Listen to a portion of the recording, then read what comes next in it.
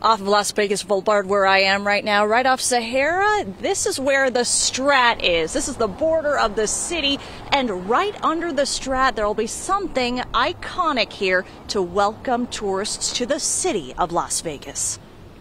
It's like old Vegas. That's why people come here. The Fun City Motel has been right off Las Vegas Boulevard for years, facing the iconic Strat. Motel manager and professional photographer Elizabeth Walensky has snapped photos of customers who've stopped by, from Sam Smith to Italian actor Giampaolo Morelli. She welcomes the new addition on the block that'll draw more tourists and eyes to the city of Las Vegas. It'll bring people here.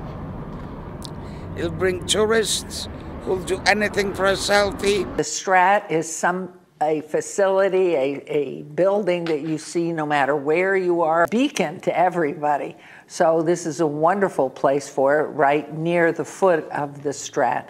Mayor Goodman says the $6.5 million arch off of Las Vegas Boulevard in Sahara that'll be completed by September is part of the city's effort to brand downtown and draw tourists downtown. That you see, wow, what's on beyond this? The mayor hopes tourists will proceed onwards, Main Street, then past the iconic restored hotel signs that'll continue to pop up in medians downtown, and right into the ever evolving Fremont Street. We would just want to keep drawing more and more people into the heart of the city. It's where the roads meet. Old Las Vegas is fun.